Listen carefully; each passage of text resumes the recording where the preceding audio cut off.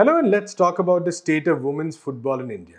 India has been named the host of the Asian Women's Cup in football, which is scheduled to be held in 2022. Now, this news was greeted with a lot of joy by the footballing community. The All India Football Federation President Praful Patel said that it would, and I quote, galvanize the aspiring women players and bring in a holistic social revolution as far as women's football in the country is concerned. Very impressive words. But what exactly is the state of women's football in the country? Does hosting an event automatically mean that we may be able to take things to the next level in the sport? We talked to Leslie Xavier of the NewsClick Sports Desk to find out. Leslie, thank you so much for joining us. So, the Women's Football Asian Tournament is going to be held in India in 2022. India successfully won the bid. Uh, that is, if the tournament takes place, we yeah. don't know considering the given, given circumstances. But keeping COVID 19 and its uncertainties aside, do you think that, uh, say, bringing the tournament to India will actually revolutionize the sport because that's a kind of claim that both authorities, some players have been making that this is a landmark moment. So, is it actually how it's likely to pan out on the ground? So, whenever we bid for a major tournament, uh, that's the premise that the entire mechanism works around that this is going to drastically change the way sport is going to be played in the country. So that's the same claim that was there when we bid and hosted the 2010 Commonwealth Games, and we know the legacy of the structures that were erected and all that. Except for the Delhi Metro, I guess nothing is in proper use. Right. So, uh, getting into the specifically the women's game, women's football in the country, and we also have another major event that is happening before the 2022 Asian Cup. That is the Under 17 Women's World Cup, which was supposed to be hosted this year in November. It was postponed because of uh, coronavirus outbreak, and it is it will now be held in February March next year. So fingers crossed on that because uh, it's not just about uh, things settling down uh, right. as far as the disease is concerned. It's also about the logistics involved. It's also about mm-hmm. about the kind of money that uh, the stakeholders would be able to pump into the uh, tournament. Right. Anyways, when we bid for that World Cup uh, a few years back, uh, we never had anything uh, as far as the women's game is concerned in the country. Mm-hmm. There was no grassroots system in place, and uh, the uh, reasoning that, were, that was given by the All India Football Federation was that with this tournament there will be things set up. Uh, since it's an age group tournament, young girls would be caught in the catchment and uh, a network would be established so that more young girls can come into the game. They can mm-hmm. come up through the systems that would be set up uh, subsequently, and uh, we will have a very strong base for women's football in the country. But nothing right. has happened. Right. In fact, the under 17 team uh, was formed as late as last year only.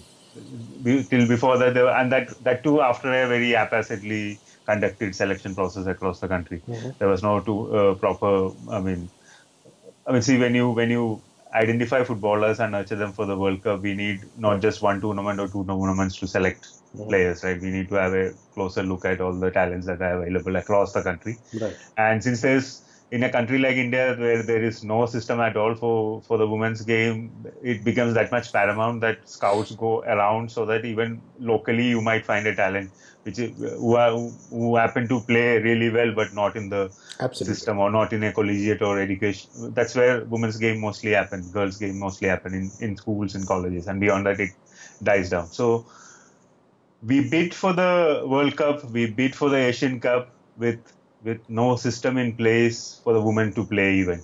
So this is not just the case for the age group uh, girls, but also for the senior women. Mm-hmm. Indian women's Indian national women's team hardly play.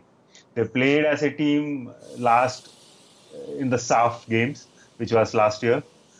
They won. Obviously, South Asia we are strong, and in the 2002 Asian Cup we wouldn't have qualified if we were not hosting. So uh, since 2003, we haven't qualified for the Asian Cup for yeah. the Continental Championship at all. That shows where we stand as far as women's game is concerned. Yeah. We do have talented players. For instance, Bala Devi is playing in Gla- Glasgow right now. Yes, she has signed for Glasgow. Uh, unfortunately, soon after she shifted, the lockdowns happened, so she hasn't been able to play as much, but she has been training there. And so, obviously, there is talent in the national team setup, despite the system not helping. But they hardly get to play. And so in the in such a scenario, we glorify getting a chance to host a championship where we, I mean, it, technically, if you look at it, we don't deserve to be there because uh, quality-wise, we are not there yet. So, so where do you, where where should the focus be? Mm-hmm. Is it to host a tournament and uh, then after that forget everything, or use all those resources and the mobilization that happens that it's an enormous, enormous logistical process right so why don't why don't use that use that kind of a process to uh, set things up right mm-hmm. before before going before aiming big and before bringing a, bringing a grand tournament into the country right. Also, could you talk a bit about the domestic scenario as far as women's football is concerned in terms of the possibilities of leagues, tournaments, and like that? There is a national league which was started three years back. Uh, they call it a league, but it's a glorified tournament because it just happens for three weeks. That's the duration. And height of summer. For instance, uh, last year's tournament happened in Jalandhar in May, if I'm not mistaken. Yeah, it was in May.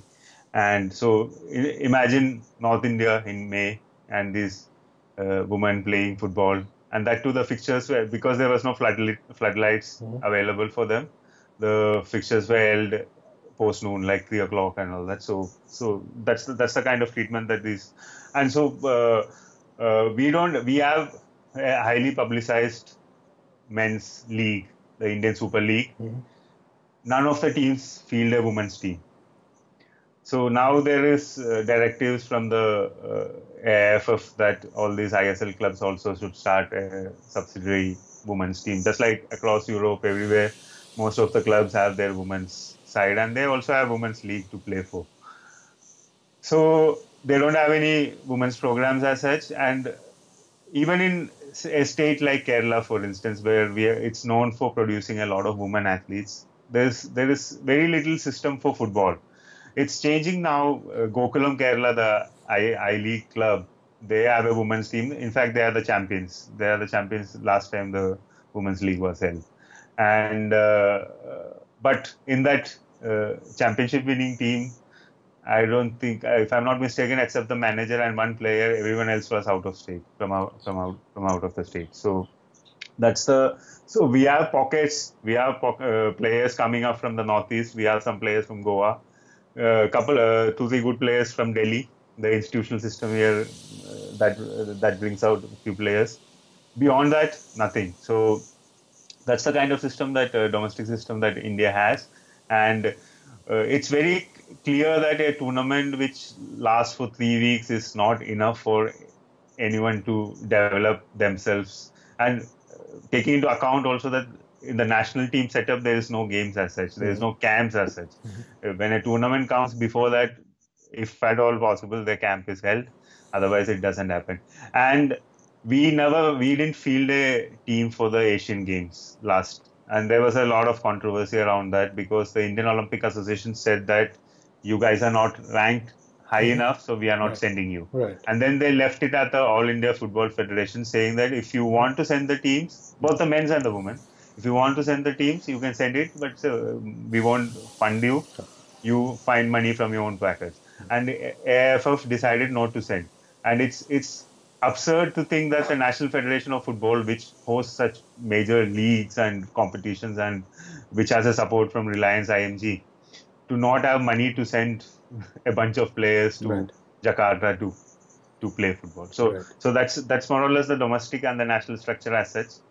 And uh, at this point, again, I, just to highlight what exactly the situation is, I would like to point out a specific instance of the under 17 women's, since we started a conversation with the Women's World Cup under 17. So the camp was disbanded uh, around the time the lockdowns began because it was clear that the tournament would also be postponed. And uh, the girls were sent back to, uh, to their hometown. So, two girls from Jharkhand, specifically, the story came out so they went back, and obviously they belong to. I mean, they belong to a uh, I mean, economically backward uh, family, so they were struggling to eat even.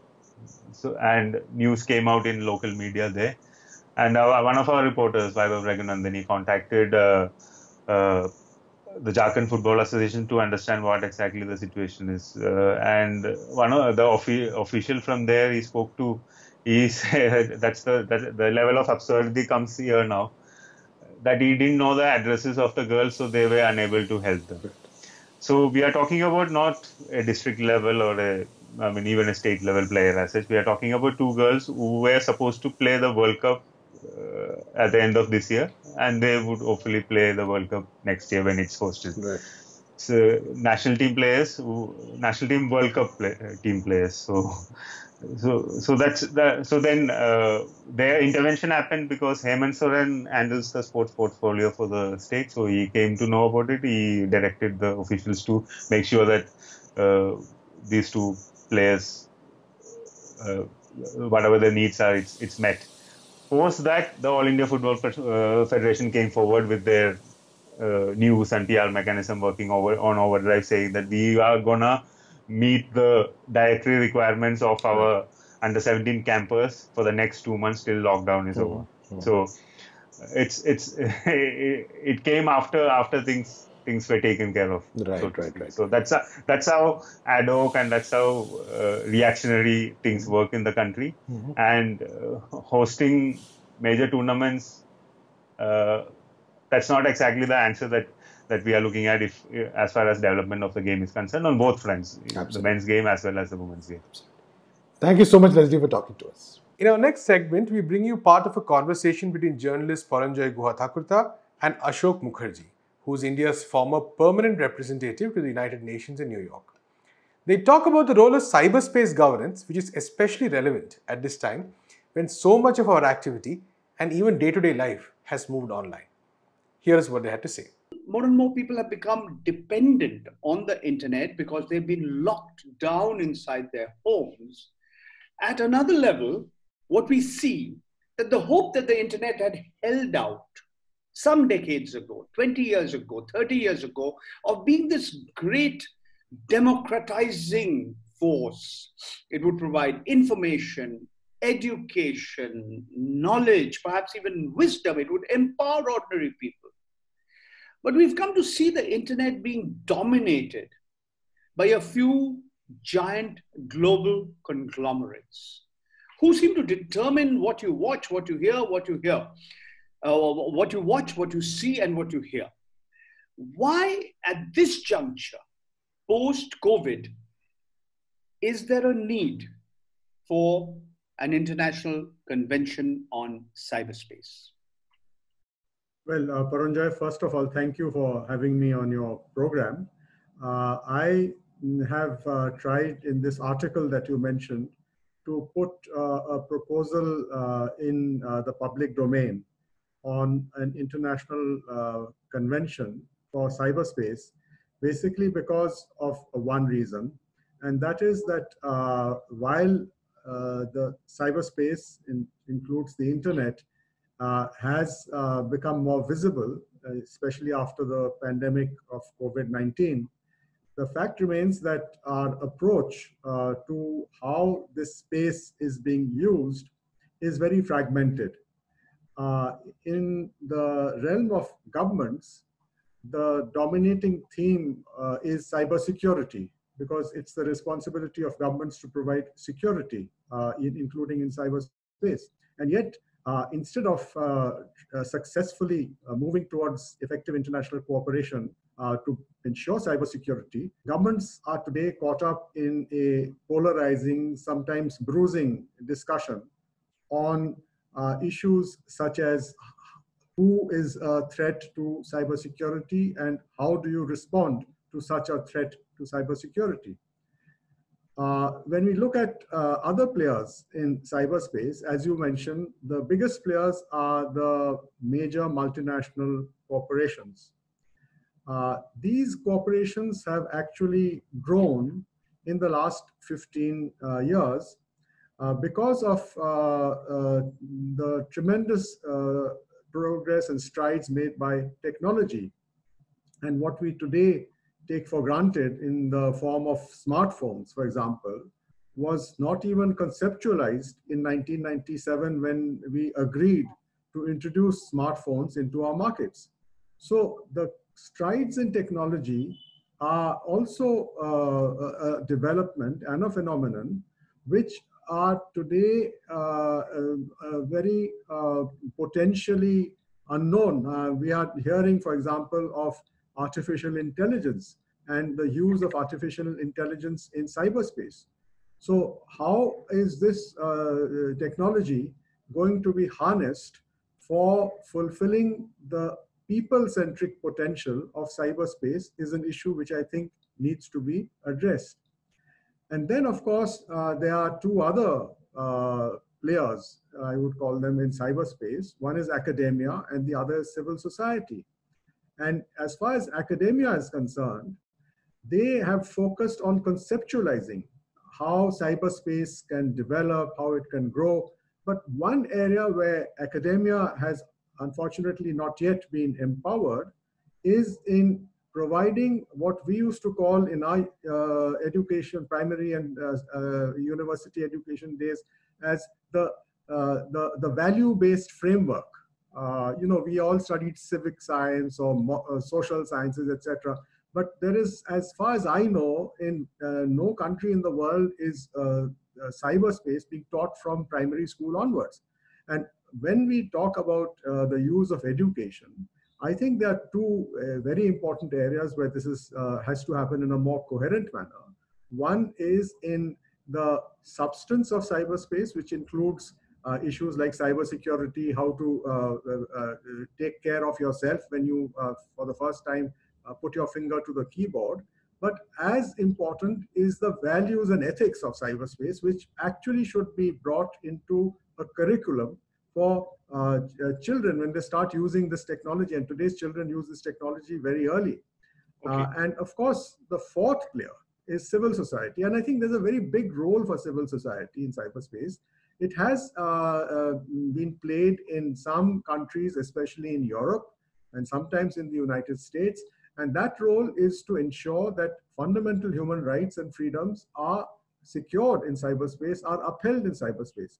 Now, for example, when we talk of uh, the, the concerns of civil society in India, uh, very little of uh, the discussions that, for example, went into the Justice Sri Krishna uh, committee have even been reflected internationally. So as far as the international community is concerned, they are quite uh, uh, sort of, they have not yet got the full contribution that Indian civil society can make not only to the Indian discussions, but also to the global discussions. And I come back to it because cyberspace is a global domain. All right. It, there is no way in which we can uh, uh, put it as the national jurisdiction. That's all we have in this episode of Let's Talk. We'll be back tomorrow with the latest news developments of the day. Until then, keep watching NewsClick.